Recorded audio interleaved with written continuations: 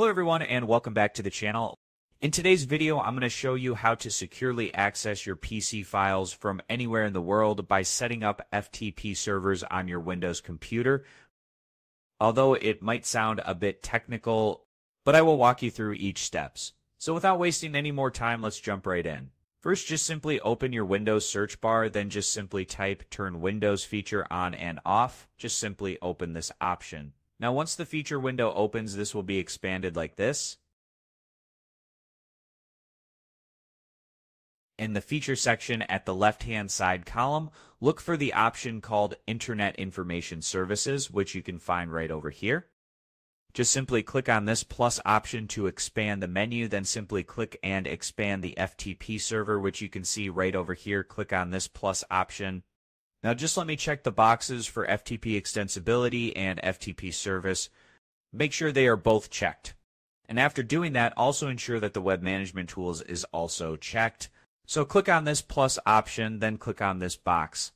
In the web management tools, make sure that the management console is the only one that is checked, as you can see right over here. If there are more than one, make sure to only check the management console.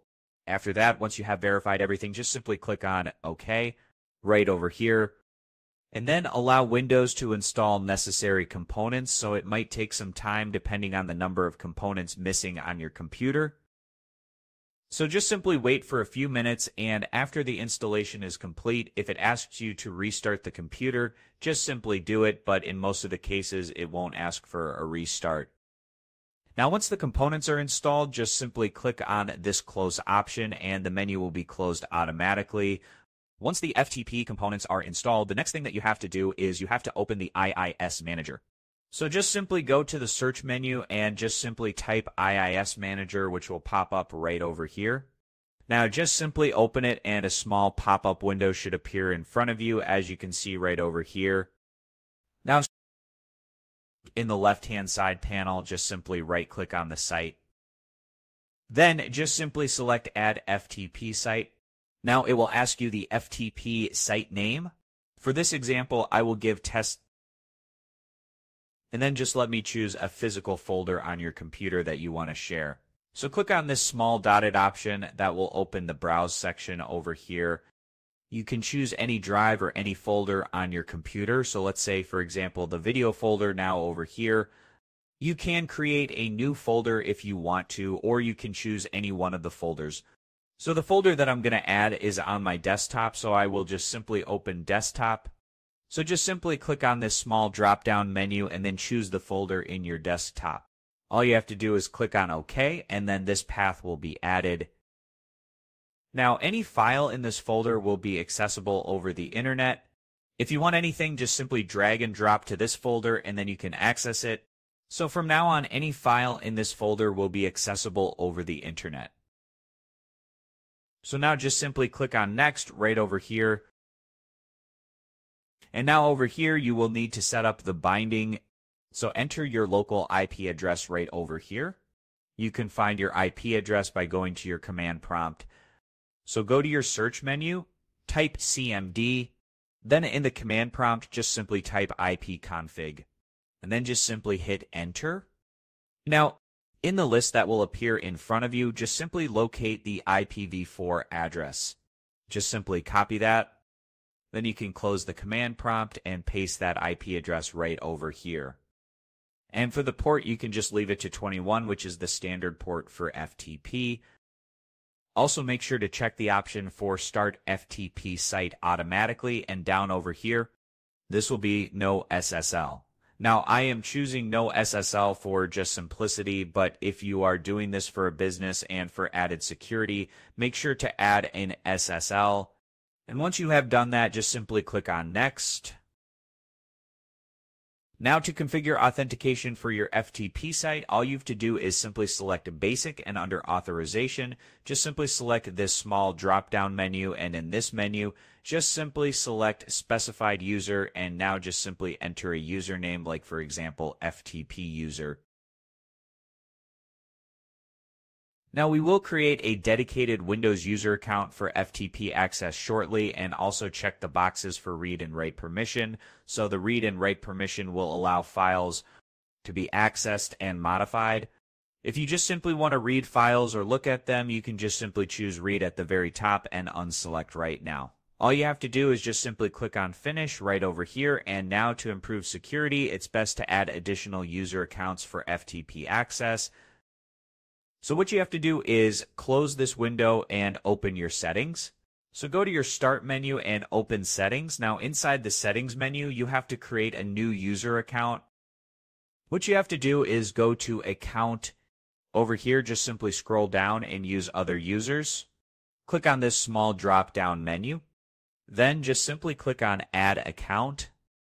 I'm going to wait for a few seconds and over here just let me choose I don't have this person's sign in info.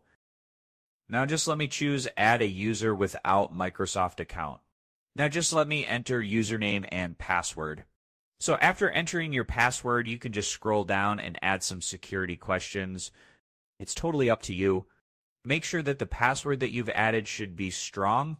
Now, after you have completed that, just simply click on next and make sure to keep the info that you just simply added over here handy because you will be needing that. Now, once it is done, you can close the window. Next, navigate to the folder you selected as the physical path for your FTP site, then right click on that folder. Then just simply select Properties.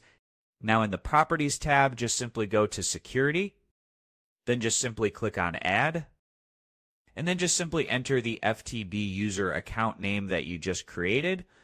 And then after that, once the user is detected, click on OK.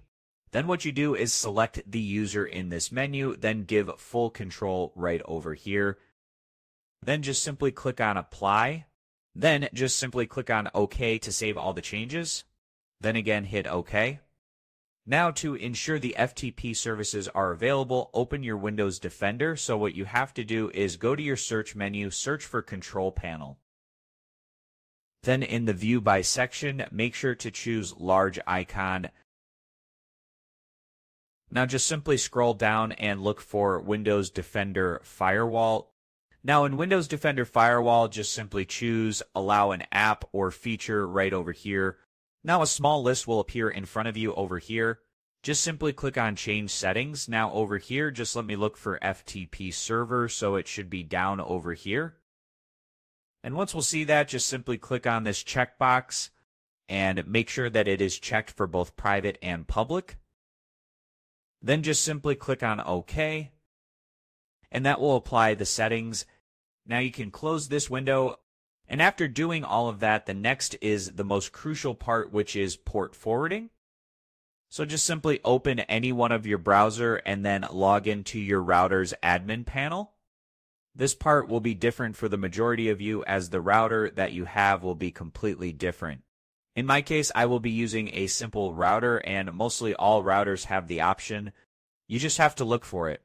So just simply enter your IP address right over here and log into your router. Now just simply click on login. Now all you have to do is just simply locate the forwarding option. Now the option will be different in all the routers. Currently in my router, the option will be available in the firewall setup. And over here in NAT forwarding, you will have port forwarding. Now over here, just simply add a new rule. What you have to do is click on this add option and then choose the protocol, whatever you have. You can just simply always keep it default. It will work just fine. Now, firstly, in the port, just simply add 21. Now over here, just simply enter your PC's local IP, and after that, just simply click on save. So wait for a few seconds, and the port forwarding should be active, as you can see right over here. Also note your router's public WAN IP address. So that information will always be in the device info section or WAN IP info section. You have to find that location. So this is the WAN IP section as you can see right over here. And this is the public WAN IP address. So just simply copy this and keep it safe somewhere because we will be needing this. And by any chance, if your public IP address is dynamic, consider setting up a dynamic DNS service so you can always connect to your FTP server using a consistent domain name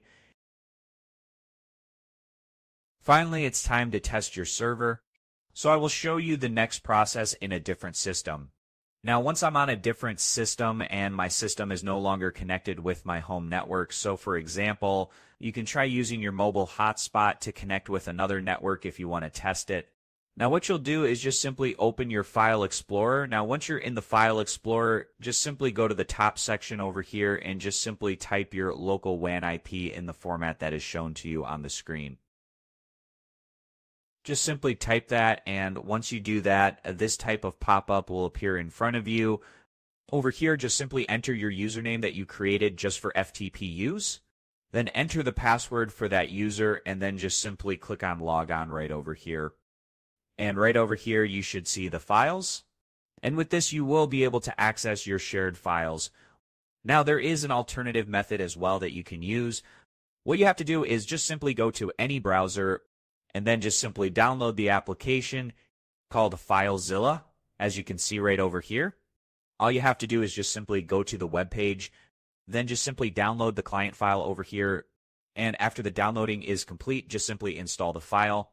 And once the file installed, it should look something like this. Now just simply open the file. And once it will open, it will look something like this. So over here, what you have to do is you have to just simply enter your WAN IP address in the host section. Then in the username, just simply add the username that you created on your Windows. Then enter the password. Then just simply enter the port number, which is going to be 21. And now just simply click on Quick Connect. Now just simply click on OK right over here. And then your file should appear as you can see right over here. You can also copy and paste. It's totally up to you as you can see right over here.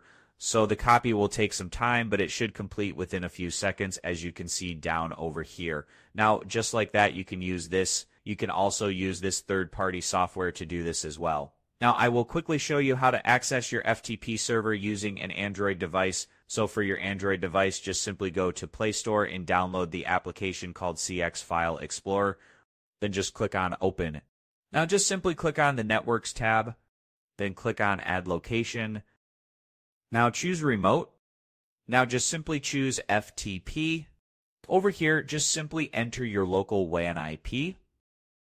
Then in the port section, let me choose 21 and enter the username and password of your Windows user account. And after that, choose FTP and then click on OK. So let's fill the details once we'll do that. You should be able to access the folder and the content inside as well. So that's it. You have successfully set up an FTP server on your Windows PC configured port forwarding, and now you can access your files from anywhere in the world. So I hope you found this video helpful. If you did, please give this video a thumbs up, share it with your friends, and subscribe to the channel for more helpful videos. So thank you for watching, and I'll see you in the next video.